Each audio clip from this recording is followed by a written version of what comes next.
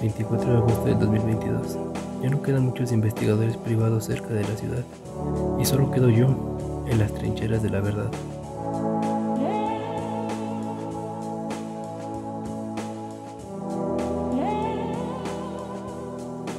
En México no somos entrenados al mayor nivel. Las instituciones no piensan que llegue a pasar este tipo de situaciones, pero no puedo dejar que pase otro homicidio.